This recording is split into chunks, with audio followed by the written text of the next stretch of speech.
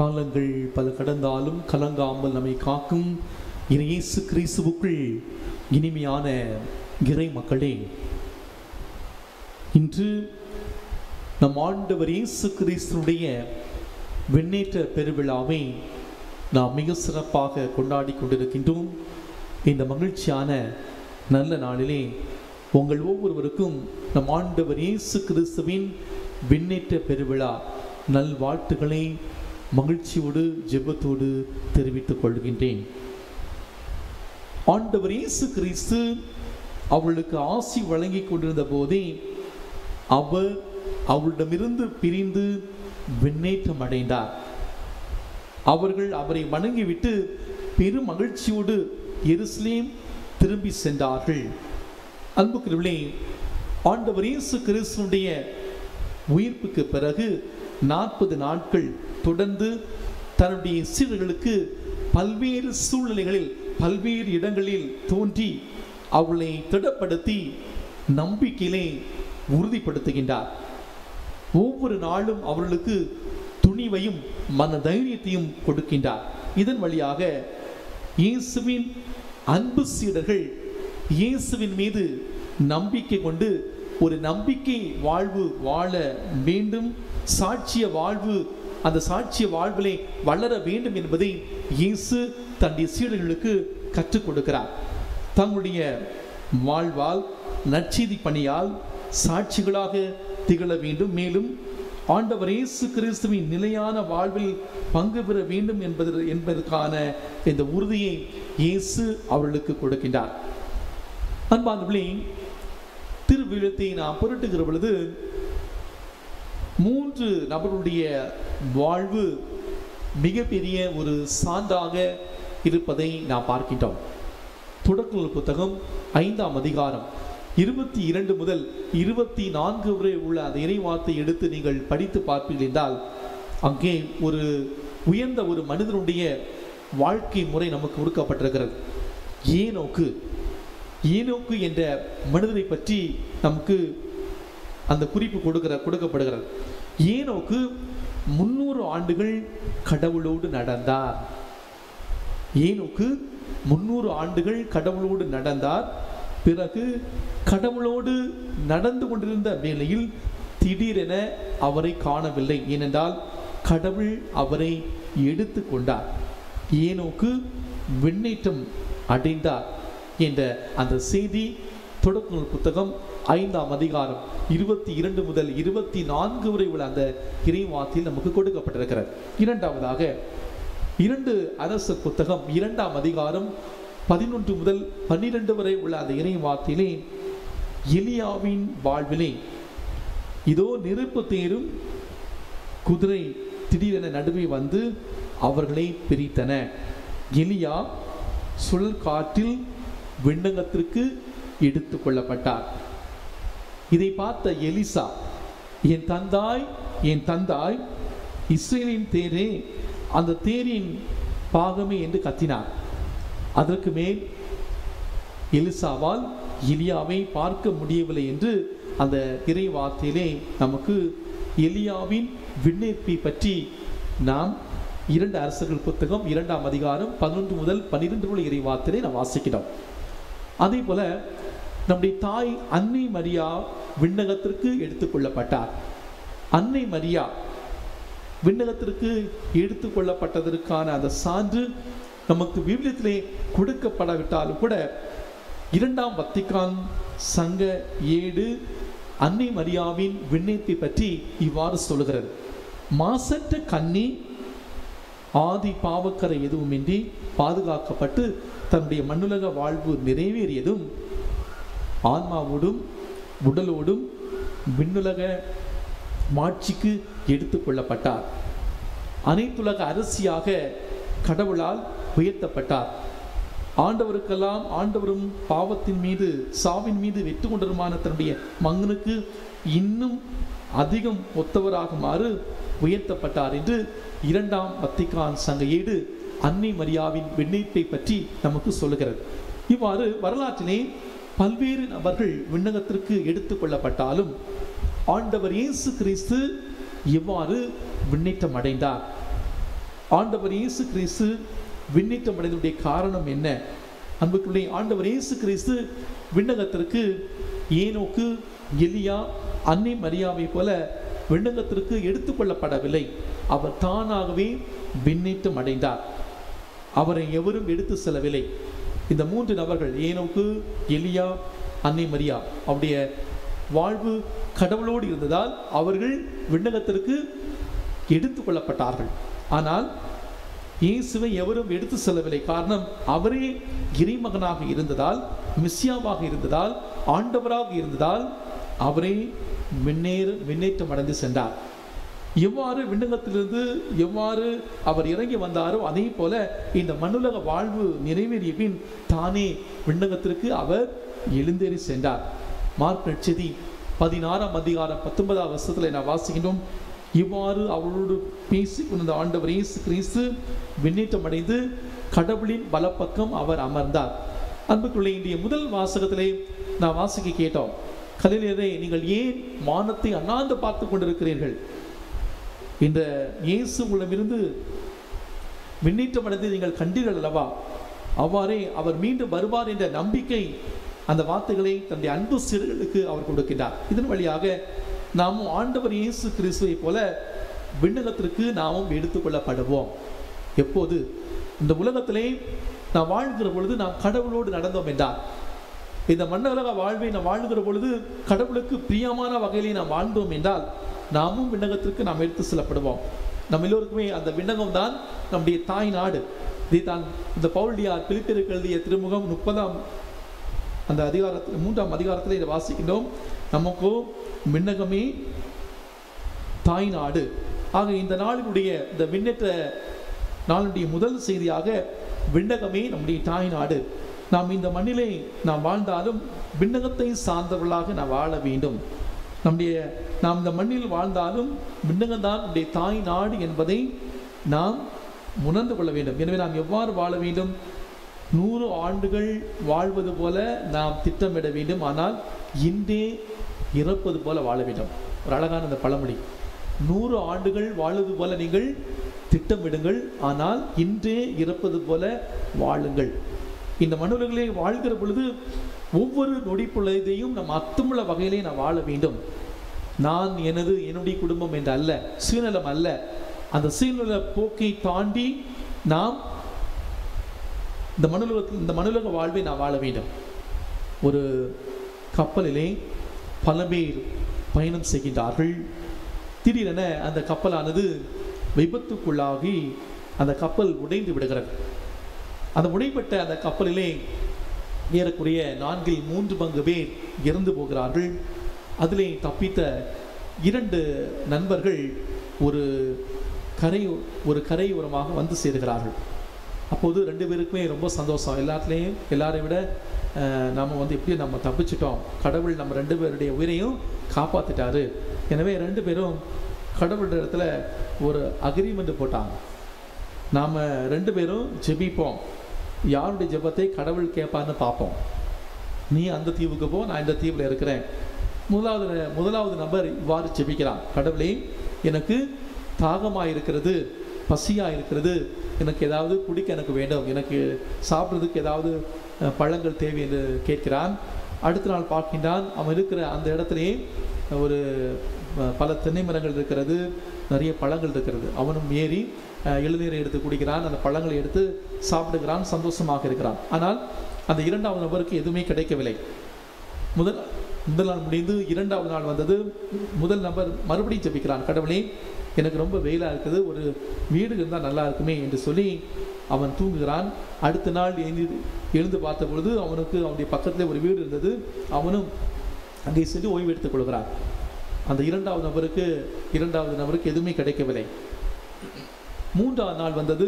அந்த முதல் நபர் அவர் கடவுளை பார்த்து எவ்வாறு ஜெபிக்கிறான் கடவுளே கப்பல் ஏதாவது வந்தால் நான் தப்பித்து போயிடுவேன். அடுத்த நாள் கப்பல் வந்து நின்றது. இவனும் போய் அந்த கப்பலில் ஏறுகிறான். அந்த கப்பலில் ஏறுவதற்கு முன்பாக ஒரு குரல் கடவுளுடைய குரல் அன்பு மகனே உன் நண்பனை கப்பலிலே அழைத்து செல்லவில்லையா? புரிந்து கொண்டான். கடவுள் தான் பேசுகிறான் அவன் சொன்னான் கடவுளே நான் ஜெபம் பண்ணேன். ஏன் அவனை கூப்பிட்டுட்டு போனோம்? நான் வேண்டியதுக்காக அருள் எனக்கு கிடைத்திருக்கிறது. அது எனக்கு மட்டுமே சொந்தம். அவன் ப்ரேயர் பண்ணியதை நீங்கள் கேட்கல. அவன் அது அவனுடைய ப்ராப்ளம் நான் ஜெபிச்சது நீங்கள் கேட்கீங்க. அதனால் நான் இந்த இடத்த விட்டு தப்பிச்சு போகிறேன் அதுக்கு கடவுள் சொன்னாராம் உன்னுடைய ஜெபத்தை கேட்கல. அவன் பண்ணுற ஒரே ஒரு ஜெபத்தை தான் நான் கேட்டேன். நீ நினைக்கிறா நான் உன்னுடைய ஜெபத்தை கேட்டேன் என்று. ஆனால் அது அல்ல மாறாக அவன் உன்னுடைய நண்பன் செய்த ஒரே ஒரு ஜெபத்தை மட்டும் நான் கேட்டேன். அப்போ என்னோட அந்த ஜெபத்தை கேட்கலையா அப்படின்னா என்னுடைய நண்பன் என்ன ஜெபம் செய்தான் என்று அந்த முதல் நபர் கடவுளை பார்த்து கேட்ட பொழுது இவ்வாறு சொன்னார். அந்த இரண்டாவது நபர் முதல் நாளிலிருந்தே ஒரே ஒரு ஜெபத்தை தான் ஜெபித்தான். கடவுளே ஆண்டவரே என்னுடைய நண்பனுடைய எல்லா ஜெபத்தையும் கேட்கணும். அதுதான் என்னுடைய ஜெபம். அதனால தான் அவனுடைய அவனுடைய ஜெபத்தை கேட்டு உனக்கு எல்லாத்தையும் செய்தேன் என்று கடவுள் அவனுக்கு சொன்னாராம். அந்த முதல் நபர் வெட்கி தலை குனிந்து தன்னுடைய நண்பனை கூப்பிட்டுவிட்டு அவர் அவர் சென்றாராம். அன்புக்குள்ளே விண்ணக வாழ்வை மண்ணுலகத்தை எவ்வாறு வாழ்வது? நாம் இந்த மனுலகத்தை வாழ்கிற பொழுது அர்த்தமுள்ள வகையிலே நாம் சுயநலத்தை களைந்து நாம் வாழ்கிற பொழுது அந்த விண்ணகத்தை இந்த மனுலகத்திலே நாம் வாழ்கிறோம். இதைத்தான் ஒரு கவிஞர் மிக அழகாக பாடுவார். வீடு வரை உறவு வீதி வரை மனைவி காடு வரை பிள்ளை கடைசி வரை யாரோ. கடைசி வரை யார்? கடைசி வரை கடவுள் தான் அவர்தான் விண்ணகம் சென்ற இயேசு. அவர் நமக்காக காத்திருக்கிறார். இயேசு உயிர்த்தார். விண்ணகம் சென்றார். நாமும் இந்த உலகத்திலே நாம் வாழ்கிற பொழுது நாம் இயேசுவோடு நடந்தோம் என்றால் கடவுளோடு நடந்தோம் என்றால் விண்ணகத்திற்கு நாம் எடுத்து செல்லப்படும். ஏனோக்கு முன்னூறு ஆண்டுகள் கடவுளோடு நடந்தார். கடவுளோடு நடக்கிற பொழுது அவர் விண்ணகத்துக்கு எடுத்துக்கொள்ளப்பட்டார் எலியா கடவுளோடு நடந்தார். அவர் விண்ணகத்துக்கு எடுத்துக்கொள்ளப்பட்டார் அன்னை மரியாள் கடவுளுக்கு ஓந்த வாழ்க்கை வாழ்ந்தார். அவர் விண்ணகத்துக்கு எடுத்து எடுத்து எடுத்துக்கொள்ளப்பட்டார் ஆக இந்த நாளிலே இறைவன் நமக்கு தருகிற அந்த முதல் செய்தி அந்த விண்ணகமே நம்முடைய தாய் நாடு. இந்த மண்ணுலக வாழ்விலே நாம் சுயநலம் இல்லாமல் அர்த்தமுள்ள ஒரு வாழ்வு நாம் வாழ்கிற பொழுது நம் எல்லோருக்குமே அந்த விண்ணகம் சொந்தமாகும். எனவே இந்த நாளிலே இந்த மண்ணுலக வாழ்வை நாம் அர்த்தமுள்ள வகையிலே நாம் வாழ நாம் முயற்சிப்போம். இரண்டாவது பாடமாக நீங்கள் சாட்சிகள். நீங்கள் பெற்றுக்கொண்டதை பிறருக்கு அறிவியுங்கள். திருத்துதர் பணி புத்தகம் ஒன்றாம் அதிகாரம் எட்டாம் வருஷத்திலே நான் வாசிக்கிறோம் நீங்கள் கடை எல்லை வரைக்கும் எனக்கு சாட்சியாக இருப்பீர்கள். சாட்சி என்பது to be a witness to be a witness வாழ்க்கையிலே வாழ்ந்து காட்டுவது எப்படி இதை நம்முடைய வாழ்க்கையில் வாழ்ந்து காட்டுவது? இந்த கொரோனா பெருந்தொற்றின் காரணமாக இந்த உலகமே அதிர்ச்சிக்குள்ளாயிருக்கிறது இந்தியா பயங்கரமான ஒரு சோகமான ஒரு சூழ்நிலைக்கு நாம் தள்ளப்பட்டிருக்கிறோம்.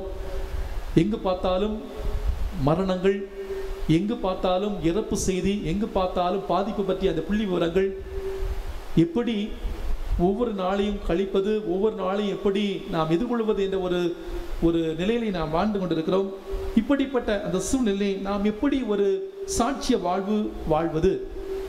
ஒரு அழகான ஒரு திருநதி ஆண்டருடைய படம் இருந்தது. பழமை வாய்ந்தது. ஏறக்குறைய இரண்டாயிரம் ஆண்டுகளுக்கு முன்பாக செய்யப்பட்ட அந்த திருநதி ஆண்டவர் உள்நாட்டு கலவரத்தின் காரணமாக அந்த திருநதி ஆண்டருடைய அந்த பெரிய சிறுவமானது உடைக்கப்பட்டது. தவிர்பியாக்கப்பட்டது அந்த கலவரம் முடிந்த உடனே அந்த அந்த ஊரில் உள்ள மக்கள் எல்லாருமே சேர்ந்து அந்த சிறு சிறு துண்டுகளை கொண்டு வந்து எல்லாவற்றையும் அவர்கள் ஒட்டி வைத்தார்கள் இணைத்தார்கள். ஆனால் அதனுடைய கைகள் மட்டும் அவளுக்கு கிடைக்கவில்லை. எனவே உலகத்திலே தலை சிறந்த கவிஞர்கள் அதை செய்வதற்காக அழைக்கப்பட்டார்கள். பல நிலைகளிலே அவர்கள் அவர்கள் முயற்சி செய்து அவர்களால் முடியவில்லை. கடைசியாக ஒரு கவிஞர் வந்து இவ்வாறு செய்தார்.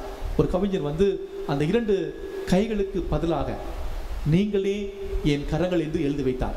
அன்புக்குள்ளே இதுதான் சாட்சி வாழ்வு என்பது. இந்த நாளிலே இந்த விண்ணப்பி பெருவிழா நாள்களே இந்த சாட்சிய வாழ்வு என்று சொல்லுற பொழுது நீங்கள் தான் என் கரங்கள். இந்த கொரோனா பெருந்தொற்றின் காரணமாக பல்வேறு சூழ்நிலை மக்கள் பலவிதமான அவலமான சூழ்நிலை சந்திக்கிற இந்த வேளையிலே நீங்கள் தான் என் கரங்கள் நீங்கள் தான் என்னுடைய கால்கள் நீங்கள் தான் என் இதயங்கள். எனவே நீங்கள் என் கரங்களாக இருங்கள் என்னுடைய கால்களாக இருங்கள் என்னுடைய இதயங்களாக இருங்கள் என்று விண்ணைப்படைந்த ஆண்டவர் நம்ம ஊருக்கு அறிவுறுத்துகிறார். இன்றைய சூழ்நிலை நான் பார்க்குறோம். நேற்று முன்னதினம் நான் பார்த்தோம். நம்முடைய முன்பு முதலமைச்சரை சந்தித்து சாலிகிராமத்தை சார்ந்த ஒரு சாதாரண வாட்ச்மேனாக வேலை செய்கிறவர் பத்தாயிரத்தி நூற்றி ஒரு ரூபாயை கொண்டு வந்து அந்த முதலமைச்சர் இந்த உதவி நிதிக்காக கொடுத்து சென்றார். நான் பார்க்குறோம் ஒரு ஆட்டோ டிரைவர் பல்வேறு பிரச்சனைகளுக்கு மத்தியில் தன்னுடைய ஆட்டோவை யாரெல்லாம் இந்த கொரோனா தொற்று நோயினால் பாதிக்கப்பட்டு கேட்குறார்களோ அவர்களை ஃப்ரீயாக ஆஸ்பத்திரி அழைத்து செல்ல தன்னுடைய உயிரினுடைய அந்த ரிஸ்கையும் பார்க்காம செய்து கொண்டிருக்கிறார். இதெல்லாம் ஒரு சாட்சிய வாழ்வு. இயேசுவின் கரங்களாக இயேசுவின் கால்களாக இயேசுவின் இதயமாக சிறு சிறு வகையிலே நாம் வாழ்கிற நம்முடைய பகுதியிலே நமக்கு இந்த அச்சம் இருந்தாலும் பயம் இருந்தாலும் நாம் ஒரு சான்று பகிரக்கூடிய ஒரு சாட்சிய ஒரு வாழ்வு நம்மால் வாழ முடியும். மூன்றாவதாக இன்றைய விண்ணேற்பு பெருவிழா நமக்கு தரக்கூடிய செய்தி நீங்கள் நற்செய்தியை பறைசாற்றுங்கள். இன்றைய நற்செய்தியிலே நம் ஆண்டவர் இயேசு கிறிஸ்து தன்னுடைய சீரர்களுக்கு விடக்கூடிய அழைப்பு உலகெங்கும் சென்று படைப்பிக்கலாம் நற்செய்தி பறைசாற்றுகள். இந்த நற்செய்தி அறிவிப்பு தான் இயேசுவின் சீர்களுக்கு இயேசுவை பின்பற்றி நடப்பவர்களுக்கு அவர் விடுக்கிற முதல் அழைப்பு. இயேசுவின் சீடர்கள் அவருடைய அழைப்பை ஏற்று நற்செய்தி அறிவித்தார்கள். அதற்காக தங்களுடைய உயிரையும் கொடுத்தார்கள். இயேசுவின் வழியில் நடக்கக்கூடிய நாம் நற்செய்தி அறிவிப்புக்கான முன் முன்னெடுப்புகளை மேற்கொள்கிறோமா இந்த நற்செய்தி அறிவிப்பு மீது தாகம் கொண்டிருக்கிறோமா? அன்புக்குரியவர்களே இயேசு சபையின் தலைவராக பதினான்கு பதினைந்து ஆண்டுகள் இருந்தவர் அருள் தந்தை பேதுரோ அருப்பே அவர்கள். அவர்கள் எவ்வாறு இந்த நற்செய்தி பணி அறிவிக்கக்கூடிய பணியாளராக மாறினார் என்பதற்காக சொல்லப்படுகிற அவருடைய வாழ்க்கையில் நடந்த ஒரு அருமையான நிகழ்வு. அருள் தந்தை பேதுரு அருப்பே அவர்கள் மேத்ரிட் அதாவது ஸ்பெயின் நாட்டில் இருக்கக்கூடிய அந்த மேத்ரிட்லே பல்கலைக்கழகத்திலே மருத்துவ படிப்பு படித்து கொண்டிருக்கிறார். படிப்பிலே மிக திறமை வாய்ந்த அவர் பிற்காலத்திலே மிக சிறந்த மருத்துவராக மாறுவார்கள் என்று எல்லாருமே நினைத்தார்கள். ஆயிரத்தி தொள்ளாயிரத்தி இருபத்தி ஆறாம் ஆண்டு அதாவது அவருக்கு பத்தொன்பது வயது நடந்து கொண்டிருக்கிற பொழுது அவர் லூர்து நகருக்கு சென்று அங்கு நடைபெற்ற அந்த வழிபாட்டிலே அவர் கலந்து கொள்கின்றார். அப்போது அந்த வழிபாட்டிலே அவர் பங்கேற்றுக் கொண்டிருக்கிற பொழுது அவருக்கு பின்னால் ஒரு தாய் நடக்க முடியாத முப்பது வயது மகனை சக்கர நாற்காலியிலே வைத்துக்கொண்டு இயேசுவே நடக்க முடியாத என் மகனுக்கு இறங்கும் இயேசுவே நடக்க முடியாத என் மகன் மேல் இறக்கும் கொள்ளும் என்று உறக்க கத்துகின்றார். இதை கேட்டு அந்த வழிபாட்டை நடத்தி கொண்டிருந்த ஆயர் நற்கரணையை எடுத்து வருகிறார். இந்த பேதுரு அறுப்பை தாண்டி அவருடைய அடுத்த அந்த பெஞ்சில் இருக்கக்கூடிய அந்த தாயின் மகன் மீது வைத்து ஜெபிக்கின்றார். என்ன ஆச்சரியம் சிறிது நேரத்தில் நடக்க முடியாத அந்த தாயினுடைய மகன் எழுந்து நடக்கத் தொடங்கினார். இந்த நிகழ்வானது அரூபே வாழ்விலே ஒரு மிகப்பெரிய தாக்கத்தை ஏற்படுத்தியது. அவர் தன்னுடைய அறைக்கு வந்த பொழுது அவரால் சரியாக படிக்க முடியவில்லை. அவருடைய நண்பர்கள் ஏன் இந்த மாற்றம்? என்று கேட்ட பொழுது அவர் தனக்கு நிகழ்ந்தவற்றை சொல்லுகின்றார்.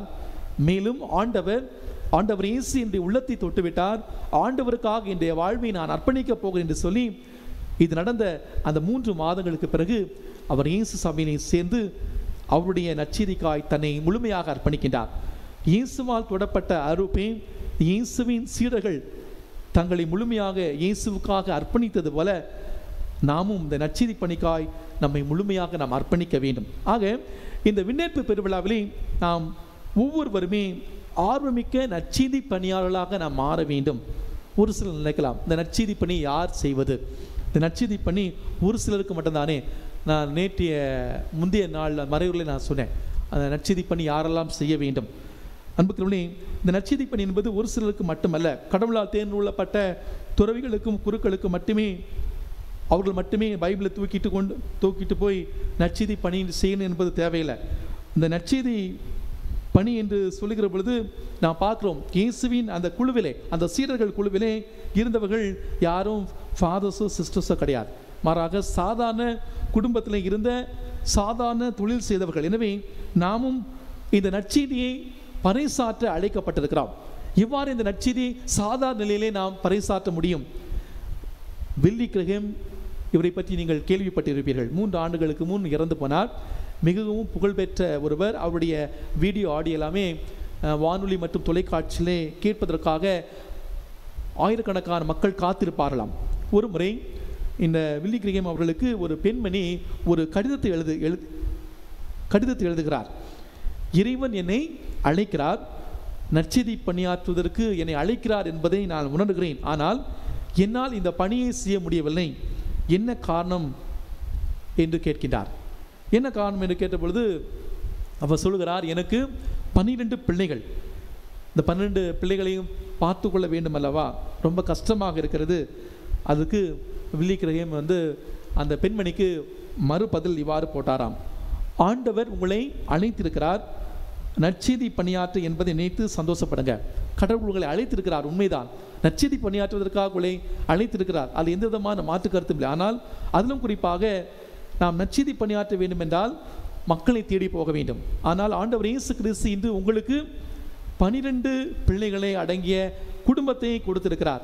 அங்கே உங்களுடைய நற்செய்தி பணி ஆற்றுங்கள் என்று விழிக்கிரகம் அவர்கள் அந்த பெண்மணிக்கு அந்த கடிதத்தில் குறிப்பிட்டாராம். ஆக அந்த அளவுக்கு அன்புக்குள்ளே நம்முடைய குடும்பத்திலே நற்செய்தி பணி ஆற்ற வேண்டும்.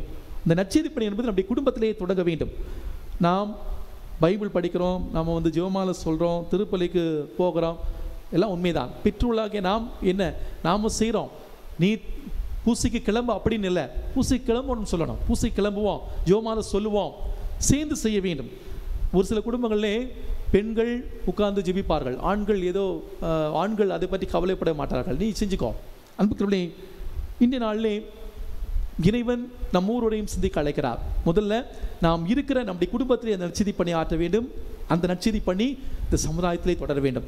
எனவே இந்த விண்ணேற்பு பெருவிழா நாளிலே இறைவன் நமக்கு தந்திருக்கிற இந்த செய்திகளை நாம் உள் வாங்குவோம். இந்த நாளிலே இயேசு ஆண்டவர் நமக்கு சொல்லக்கூடிய முதல் செய்தி இந்த மண்ணுலக வாழ்விலே இந்த விண்ணகத்தை நாம் அனுபவிக்க முடியும்.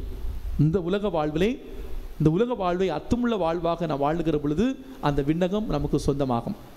நாம் இயேசுவின் சாட்சிகளாக நாம் வாழ வேண்டும். நம்முடைய வாழ் மூலமாக அந்த சாட்சிய வாழ்வை நாம் வாழ வேண்டும். நற்செய்தி பணி என்பது ஒரு குறிப்பிட்டவருக்கு மட்டுமல்ல நம் எல்லோருக்கும் சொந்தம் என்பதை நாம் உணர்ந்து கொண்டு இந்த உலக வாழ்விலே நாம் கடவுளோடு நடந்தோம் என்றால் கடவுளோடு பயணித்தோம் என்றால் நாமும் கடவுளால் எடுத்துக்கொள்ளப்படுவோம். அந்த விண்ணகத்தை நாமும் பெற முடியும் என்ற நம்பிக்கையோடு தொடர்ந்து இந்த திருப்பலி நாம் பக்தியோடு ஜெபிப்போம். ஆமீன்.